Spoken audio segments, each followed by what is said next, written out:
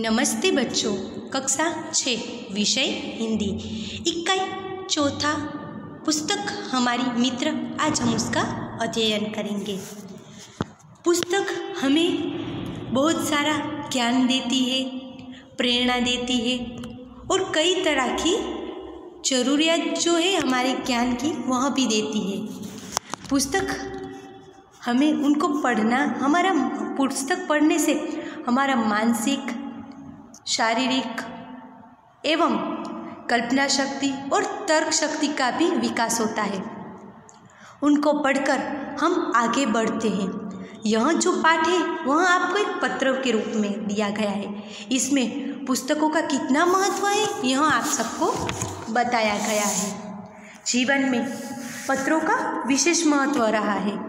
पहले के ज़माने में पत्र से ही बातचीत होती थी और पत्र से ही एक एक शहर से दूसरे शहर तक संदेशा पहुँचाया जाता था। किंतु आज क्या करते हैं? मोबाइल, ईमेल उसके द्वारा संदेश पहुँचाए जाते हैं।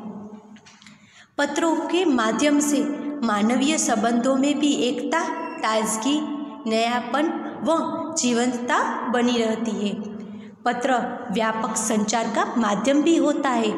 पत्र लेखन भी एक कला है।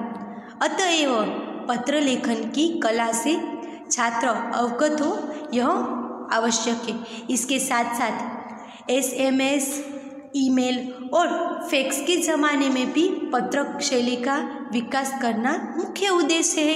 इसलिए आपको यह जो है, पुस्तक हमारी मित्र, यह आपको पत्र के द्वारा यहाँ पर समझाया गया है।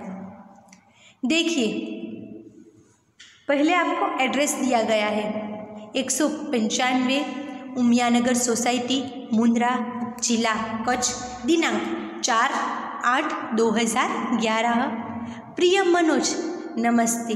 यहाँ पर मनोज है, उसको संबोधन किया गया है, ठीक है? और आदर दिया गया है। आगे देखते हैं। मैं यहाँ सकुशल हूँ। आशा है कि वहाँ सभी सकुशल हैं।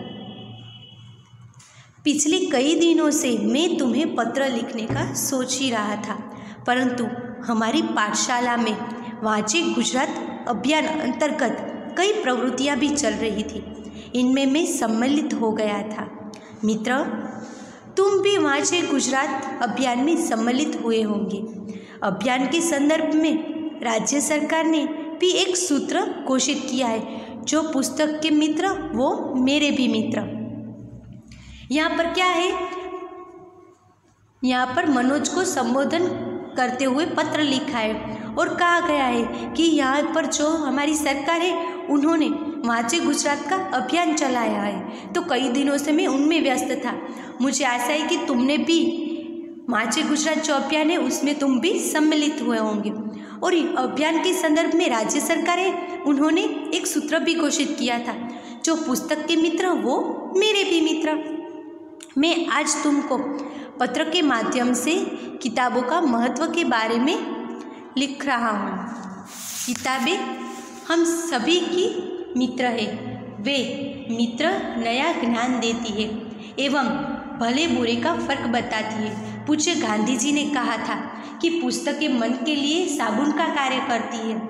मन में जो अज्ञान है, अंधकार है, उसे मिटाकर ज्ञान का अच्छा सा संचार करती है।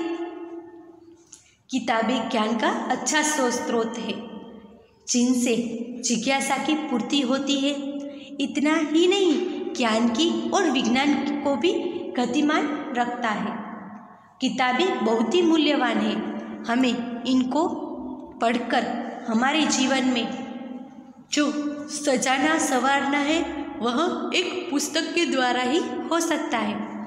मित्र मैं ऐसे कहना चाहता हूँ कि मुझे पैसे नहीं, पुस्तकें चाहिए। जन्मदिन के अवसर पर पुष्प का गुलदस्ता नहीं, बल्कि किताबों की भेंट देनी चाहिए। पुस्तकें हमारी मित्र है और आगे भी रहेंगी। इनको पढ़कर ज्ञान अर्जन करने की ज़िम्मेदारी हम सबकी है। मैंने हर रोज़ अच्छी किताबें पढ़ने का एक पन्ना शुरू कर दिया है।